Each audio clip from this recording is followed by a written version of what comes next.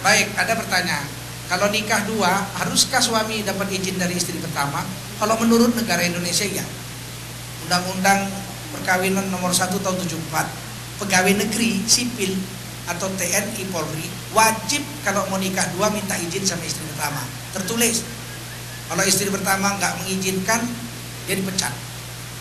Tapi itu untuk pegawai negeri dan TNI Polri. Kenapa? Negara nggak mau bayar dua istri, mahal. Satu istri aja sujangannya susah. Negara kita negara miskin. Dan itu undang-undang negara wajib ditaati. Pegawai negeri yang tidak mentaati itu berdosa. Karena taat pada hukum negara kan wajib. Kenapa dia mau jadi pegawai negeri? Kalau dia mau kan dia sumpah untuk taat pada aturan pegawai negeri.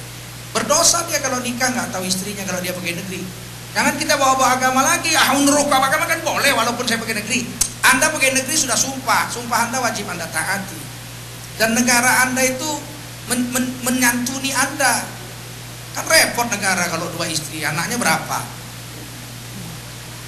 Kecuali izin. Kalau izin itu sudah terlalu baik negara itu. Kalau izin tertulis negara mau juga menikahkan. Cuma negara nggak mau menanggung istri kedua. Nggak ada tunjangan untuk istri kedua dan anak dari istri kedua nggak ditunjang oleh negara. Nggak dianggap anak negara.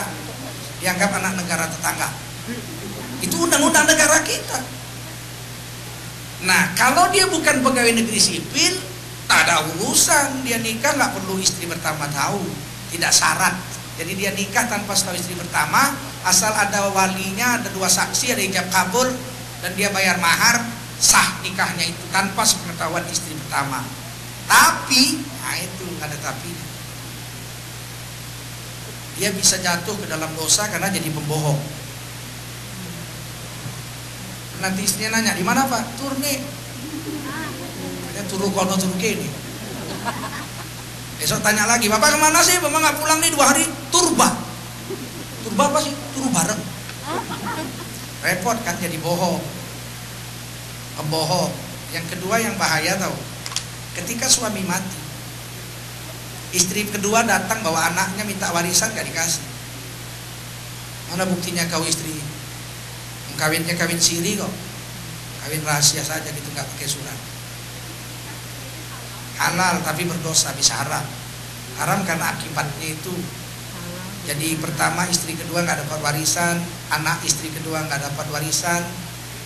Karena nggak ada surat anak istri kedua mengurus paspor juga nggak bisa.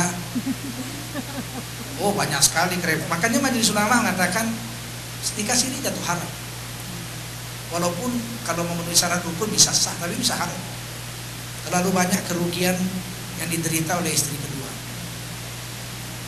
Saya nggak menyarankan nikah sini.